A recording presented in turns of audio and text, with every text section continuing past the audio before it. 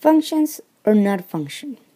Today we're going to try to identify functions from a different representations from tables, a set of points, graphs, and mapping diagrams.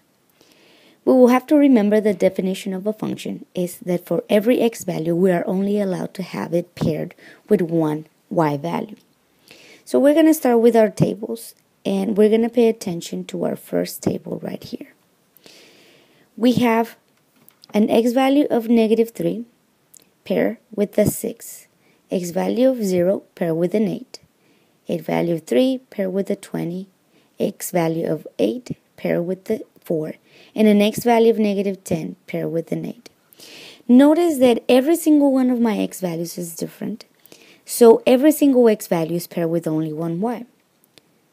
So this, we can say that this is a function. Sometimes it's hard to understand what is the definition of function until we see an example of what is not a function. So now we're going to look at our second table right here. And I want you to notice that we have x values of negative 2, 0, negative 2, 7, and negative 8.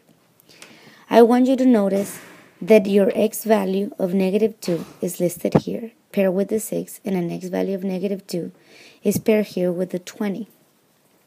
So that tells me that the same x values pair with different y's. So this will be a non-function.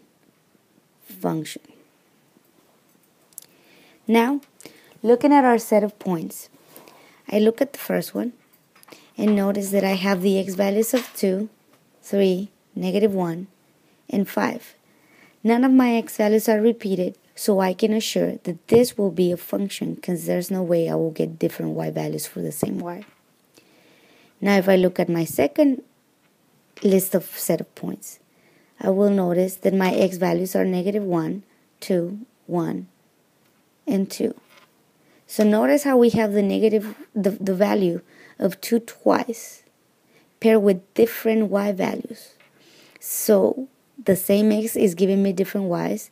That will be a non-function. When we're talking about graphs, we're going to look at our first graph. And we're going to check this a little bit different. We are going to do what is called the vertical line test. And that is imagine a set of different vertical lines passing through the line. And the rule is they could only touch your line once. So for example, this one only touches my Y here. This one touches the line only here, only here, and only here. So each one of my lines is touching the vertical lines are touching the line only once, so that will be called a function. Now if we look at our second graph, we will notice that if I start drawing my vertical lines, I immediately notice that the same line, the same vertical line will touch twice. That immediately tells me that this is a non-function. For mapping diagrams, I'm going to use my same definition every x can have only one y value. So I want you to look exactly at the first at the value of negative 1 in the first mapping diagram. It's paired with two different y values, which is 5 and 3. That will tell me that this is a non-function. And in our last mapping diagrams, noting how each x value is paired only with one y value. That would tell you that this is a function.